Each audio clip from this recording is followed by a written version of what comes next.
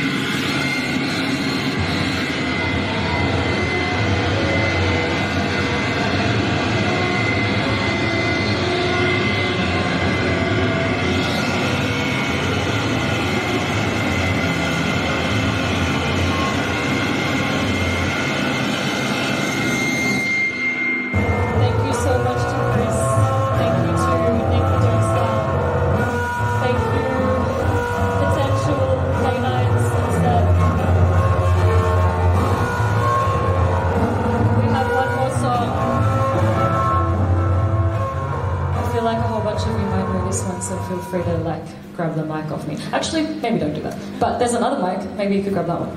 Thank you so much for having us. We're Arab